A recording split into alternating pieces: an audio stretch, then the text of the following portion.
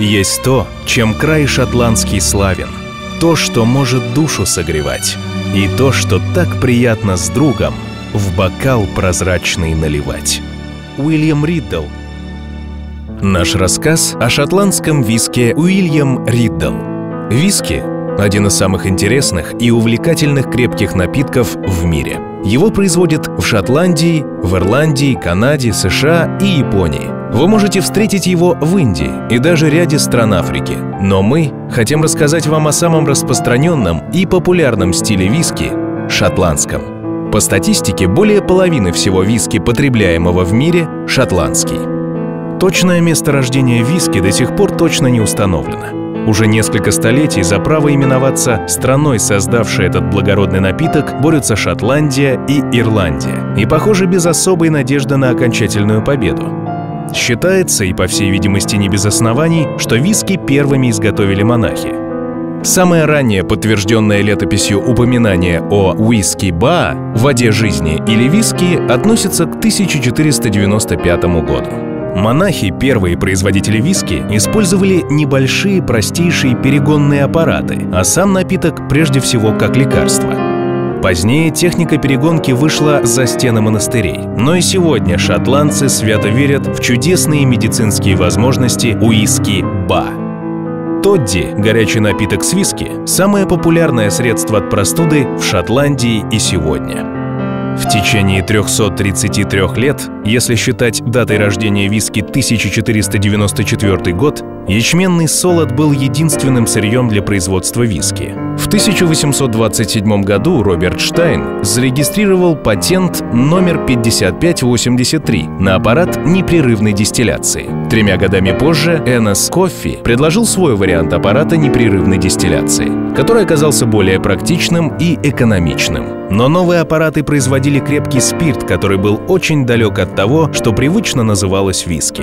Уроженец Эдинбурга Эндрю Ашер взял пример с производителей коньяка, которые смешивают различные спирты, получая купаж. В 1853 году, смешав крепкий солодовый виски из Хайленда с зерновым виски, изготовленным в аппарате Энеса Кофе, создал первый в истории купаж или бленд – легкий, но ароматный напиток. Вслед за Эшером, купажируя большое количество нейтрального зернового виски с небольшим количеством ароматного солодового, шотландцы стали изготавливать мягкий и недорогой виски.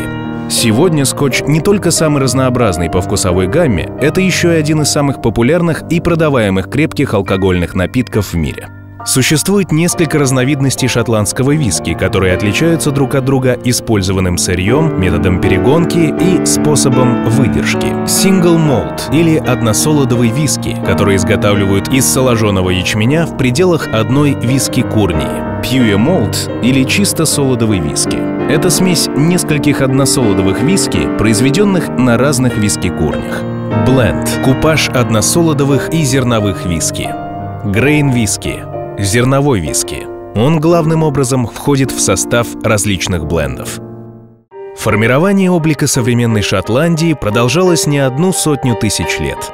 Столетие за столетием вода и воздух точили горные породы, растительный покров, отмирая, формировал плодородный слой, а в озерах, постепенно зарастающих водорослями и другими растениями, нарастал слой торфа. К моменту появления человека на этой земле ему оставалось только разумно использовать доставшееся ему богатство. Мягкий прохладный климат, удивительную воду, плодородные почвы. Первое, что сделал человек, поселившийся в этом краю, это научился использовать торф в качестве топлива. Все изменилось, когда святой Патрик привез в Шотландию технологию дистилляции – уже к концу XVIII века мастера обратили внимание на тесную связь аромата и вкуса своих спиртов с водой и с торфом, который использовался для сушки солода. И начали строить перегонные заводы, виски-курни, там, где была вкусная вода. Вода в Шотландии непростая, а воистину золотая. Независимо от того, что является ее источником, заболоченные озера, тающие снега с заснеженных гор, чистые родники, многочисленные реки и ручьи, каждый источник воды в Шотландии уникален, и вода в них имеет собственный вкус. Огромную роль в формировании будущего виски играют туманы. Во-первых, выпадающая после них роса собирает все ароматы природы и отдает их воде, используемой в создании виски. А во-вторых, туманы, особенно на берегах моря, настолько насыщаются ароматами йода, морской соли, водорослей, что, проникая сквозь древесину бочек, эти ароматы впитываются спиртами, придавая им неотразимый характер. В Шотландии нет строгой классификации по происхождению, как во многих винодельческих странах, но традиционно виски определяются по географической принадлежности. Сегодня в Шотландии функционирует чуть более сотни производств виски. И производители, и продавцы заинтересованы в том, чтобы их виски стал лучшим. Будь то маленькая виски-курня или большой завод, каждый владелец гордится своим предприятием. Каждый ищет свой путь, оттого такое разнообразие молтов. И, конечно, каждый рассказывает об уникальности своего виски. Не является исключением и компания Уильяма Риддела. Согласно документам, первые Риддлы прибыли в Шотландию в Йоркшир из Гаскони, Франция. Первое письменное упоминание имени Риддл зафиксировано в Нортумберленде.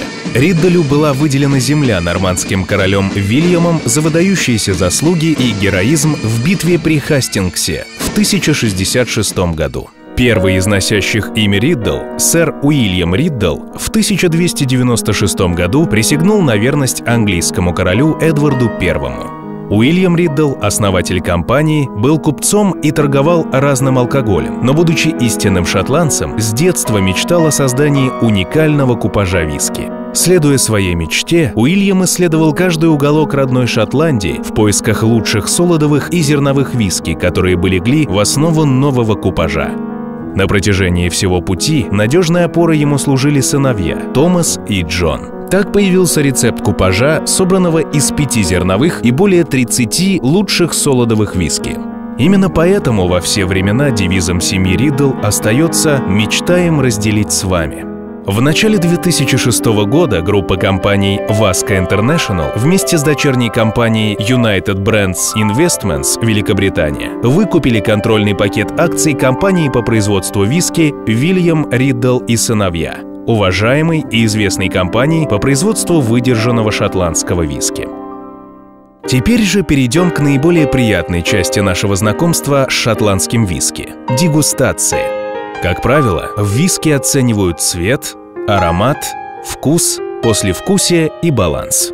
Гамма вкусов шотландского виски наиболее широкая из всех крепких алкогольных напитков мира. Виски можно пить как аперитив во время еды и как дижестив – его можно пить и без еды. Хороший виски с хорошей сигарой – это благородная классика, одно из самых изысканных удовольствий, которое себе может позволить человек. Попробуйте выделить немного свободного времени на дегустацию этого напитка, и вы вернетесь к этому приятному занятию еще не раз. Виски из коллекции Уильяма Риддела заслуживают особого внимания и по достоинству оценены искушенными знатоками во всем мире – Уильям Риддл, Шерри Каск, 8 лет выдержки. Этот великолепный купажированный виски создан на основе пяти зерновых и более 30 солодовых виски. Солодовый виски с острова Айла придает купажу аромат свежеподжаренного хлеба, оттененный отдаленными торфяными нотками и тонами выдержанного дуба. Молты из Спейсайда привносят легкие ароматы. Молты из высокогорья создают богатую пряно-фруктовую гамму с оттенками ванили, меда и хорошо угадывающиеся цветочным финалом.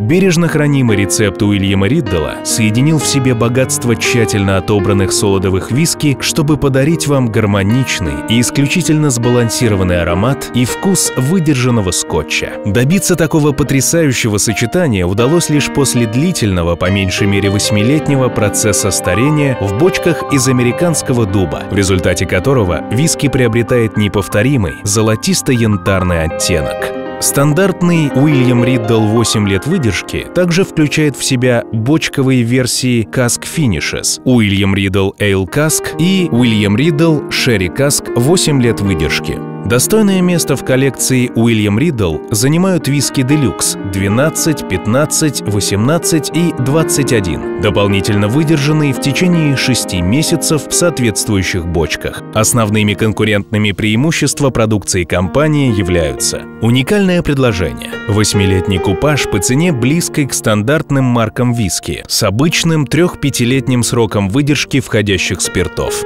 наличие бочковых версий в стандартном сегменте, Гамма Делюкс 12, 15, 18, 21 год выдержки. Эти виски дополнительно выдержаны в течение не менее шести месяцев в бочках, в которых ранее хранились соответственно бурбон, порто, ром или коньяк. Значительные собственные запасы выдержанных спиртов, в том числе старше 50 лет, долгосрочная гарантия стабильности качества продукта и поставок. Чтобы подчеркнуть и сохранить достоинство виски Уильям Риддл, была разработана оригинальная бутылка и упаковка. Бутылка виски Уильям Риддл имеет эксклюзивный дизайн, собственный стиль, раскрывает новые грани этого воистину волшебного напитка. Надеемся, каждый глоток виски Уильям Риддл подарит вам истинное наслаждение. В 1822 году король Георг IV, правивший Соединенным Королевством с 1820 по 1830 год, посетил Шотландию. На приеме в Эдинбурге сэр Вальтер Скотт угостил его виски. С этого момента придворные короля, ответственные за королевские приемы, сбились с ног, разыскивая чистый виски этой марки. Сам сэр Вальтер Скотт, уютно устроившись у камина в компании с этим благородным напитком, создал не одно свое бессмертное произведение. Кстати, лучшие шотландские авторы не представляли творческий процесс без стаканчика виски. Самый известный поэт Шотландии Роберт Бернс регулярно употреблял виски, посвящая оды любимым женщинам, либо чертям и ведьмам. В мире виски и сигар воздвигнут нерукотворный памятник одному из самых знаменитых политиков мира, сэру Уинстону Черчиллю. Сэр Уинстон в свое время очень много сделал для виски. Во время Второй мировой войны он распорядился не уменьшать количество зерна, выделяемого для производства виски. Историки утверждают, что Черчилль регулярно посылал виски Сталину. Виски очень любит и принц Чарльз. Он неоднократно посещал производство, и благодаря его симпатии на бутылках его любимого бренда красуется гордая надпись «Поставщик королевского двора». Надеемся, что и виски Уильям Риддл оставит заметный след в истории, и среди его поклонников будет немало известных и достойнейших людей.